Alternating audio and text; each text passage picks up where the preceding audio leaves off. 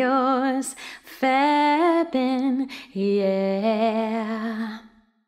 One happy birthday dot com.